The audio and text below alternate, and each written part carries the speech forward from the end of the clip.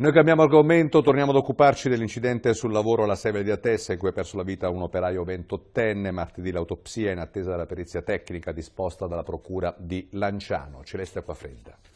Non si lavora martedì 7 gennaio in Sevel, giorno di riapertura dopo le festività. Resta fermo il primo turno, ma ci sono buone probabilità che il blocco continui per altri giorni dopo il sequestro del reparto Lastratura dello stabilimento di Atessa, dove è morto un addetto esterno alla manutenzione.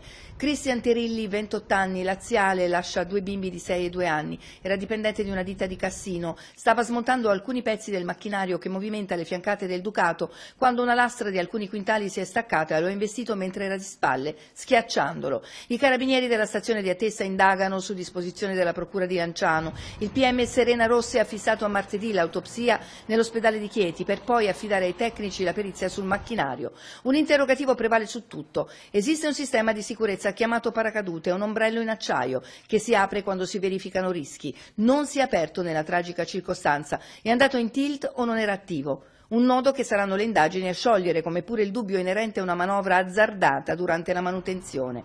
Rabbia, tanta fra i lavoratori, sgomento nei sindacalisti che lanciano un fermo appello sull'applicazione dei protocolli e delle norme di sicurezza. Andrea De Lutis, Fiom CGL, annuncia anche una riunione congiunta con le altre sigle, la riattivazione del tavolo fra Ispettorato del Lavoro, ASL e INAIL. Abbiamo difficoltà a sapere anche cosa sia realmente accaduto. Le RLS della FIOM hanno chiesto un incontro urgente alla Sevel già da ieri, ma nonostante questo sia una prassi prevista, ad oggi Sevel non ha ancora convocato le RLS. Domenico Bologna, FIM CISL, Nicola Manzi della WILM. La sicurezza deve diventare prioritario rispetto a tutte le altre questioni all'interno della fabbrica.